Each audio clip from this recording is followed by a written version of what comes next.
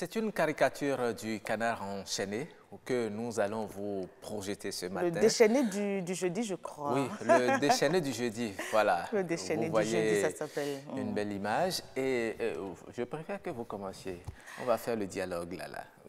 Ah. C'est la femme, c'est la femme qui parle premièrement à l'homme. D'accord. Oui. J'attends que l'image oh, revienne hein, pour euh, pouvoir lire. Voilà, l'image elle est là. Alors, ça dit quoi? Faux pita euh, qu'est-ce que tu as? Déshabille-toi et, prends-moi dans, tes bras, non. Et l'homme euh, répond, il dit euh, Olga, bon, c'est un prénom, hein, il dit Olga, pas avant que tu n'éteignes ce téléphone qui me regarde là. Ah. et en bas, il ajoute Je ne veux pas voir mes testicules sur Facebook.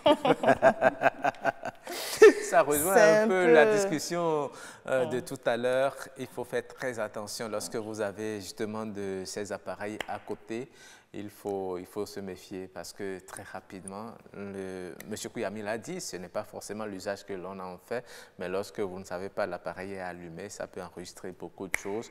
Et quand c'est enregistré, vous ne savez pas quelle utilisation euh, en fait le, serveur. C'est cela. Déjà, qu'est-ce que ça vous inspire? Non, je pense que j'abonderai dans le même sens euh, que vous. C'est simplement d'être euh, prudent, d'être prudent et c'est vite arrivé les fausses manipulations aussi dans ces circonstances. Hein, entre euh, deux, amoureux, deux partenaires. Donc, s'il y a possibilité d'éloigner euh, vos, téléphones, il est très prévoyant d'éloigner les téléphones euh, de là où vous êtes, le temps de, de ce que vous savez, bon, je pense que c'est beaucoup, c'est beaucoup mieux pour, vous. Quoi. Et c'est pas Roger qui me dira le contraire. Non, c'est vraiment, il faut être vraiment prudent, prudent comme elle l'a dit, puisque le téléphone, c'est vrai que c'est nous qui l'avons acheté. nous pouvons faire ce que nous voulons. C'est à nous de le discipliner, en fait. lui aussi peut faire ce qu'il veut avec ah, nous. Oui. Donc, il faut le discipliner. Ah, mais j'aime bien ça. Hein? oui. Ça dit c'est nous qui l'avons acheté. Nous décidons de ce que nous voulons faire, mais il peut aussi décider de faire de nous ce qu'il veut. Et il ne faut pas lui autoriser cela. Il ne faut pas le lui autoriser. Déjà, à travers nos comportements, il faut être prudent. Merci à vous, Roger, d'être passé. Merci. Nous allons vous souhaiter une très bonne journée. Merci. Oui. Merci. à demain. Euh, à, demain, oui. pour un autre, prénom. Tout à fait. Nous prenons du plaisir en votre compagnie. oui, Karamat, euh, Rock. vous avez réservé aujourd'hui euh, des astuces pour les téléspectateurs. Nous sommes mardi. Oui, pendant que notre invité, notre collègue euh, Goudi, journaliste euh, à Radio Bénin Lafia, est en train de partir, nous, allons donc euh, partager avec vous quelques astuces. Et je le disais dès l'entame de cette émission que nous allons euh, parler de la cendre. Oui, vous voulez nous parler de la cendre, uh-huh. justement. Une fois que le bois à brûler, on se retrouve avec des kilos de cendres dans le foyer. Et on ne sait pas trop ce qu'on peut en faire. Généralement, on jette. Généralement, on jette, mais euh, traditionnellement, moi je me rappelle quand j'étais petite, et je continue même de le faire aujourd'hui, quand vous avez votre euh, casserole, le derrière de votre casserole qui est noir et tout ça, vous frottez avec euh, de la cendre, ça part et vous avez votre casserole qui devient très beau. Alors, ça joue donc un rôle nettoyeur et ça peut aussi nettoyer vos vitres. Ça peut nettoyer vos vitres, ah la cendre, oui. Il, y a, il faut juste disposer d'une éponge humide trempée dans la cendre et ça permet de nettoyer facilement les résidus euh, sur vos vitres. Ah il n'y a que la cendre peut vous aider aussi, Rock, si vous êtes accro, si vous êtes accro des bijoux.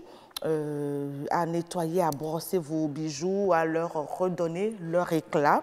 Vous pouvez euh, utiliser, la, cendre. pour le faire, surtout si vos bijoux sont en argent. Oui. Ah, effectivement, ça me rappelle euh, quand on était enfant, lorsque nous avions des pièces d'argent qui étaient un peu sales et puis vous savez on le jetait au sol et, puis on mettait du sable là-dessus et puis on prend avec, le pied la cendre et puis la pièce de monnaie devient très, très neuve. Exactement, la pièce de 50 francs, de, 100 francs. Effectivement. Ça prouve que Rock a bien fait euh, son enfance, ah sa petite hein. enfance. Ah oui. Alors, euh, la cendre vous permet également de traiter les odeurs. Qu'est-ce qu'il faut faire? Les odeurs Oui, les odeurs... Euh, de la chambre, des odeurs corporelles ou Non, les odeurs corporelles, je crois que c'est du citron qui, qui, fait ce travail-là. D'autres mélangent ça avec la cendre aussi. Ah, exactement, ça c'est vrai. Il y en a qui mélangent le citron quand on le coupe en deux avec de la cendre. Ça permet quand même de faire partir euh, ces odeurs nauséabondes de la journée qu'on a pu quand même euh, mhm. garder depuis avant d'aller sous la douche. Alors, on revient sur ces, ces odeurs-là, ces mauvaises odeurs. Pour les faire partir, il faut utiliser la cendre et ça peut se faire dans un réfrigérateur. Il suffit de mettre un récipient contenant de la cendre de charbon de bois pour supprimer ces odeurs nauséabondes. Ah bon, il suffit seulement juste de mettre euh, la cendre dans un récipient mhm. et puis vous déposez ça dans, la zone malodorante. Oui. Et puis euh, l'odeur part. Oui, c'est un peu comme euh, un euh, ce sont les, les, diffuseurs ou les diffeurs Non, pas diffeurs. Bon, diffuseur. Diffuseur, je crois bien. Diffuseur, ça joue ce rôle. Un peu comme le charbon.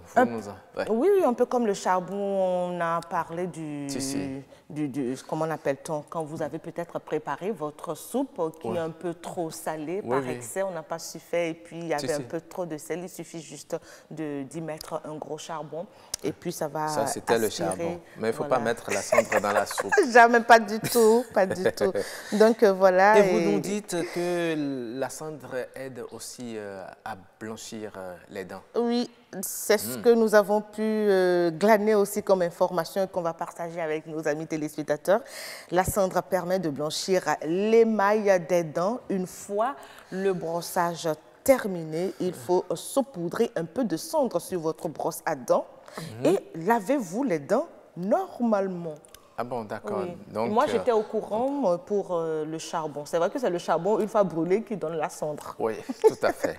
c'est effectivement, oui. Mhm. Le, le, la cendre est un, comment est, résidu, est un résidu du charbon. Du charbon. Donc, ça peut se comprendre ah, oui, que l'un et l'autre puissent nettoyer les dents.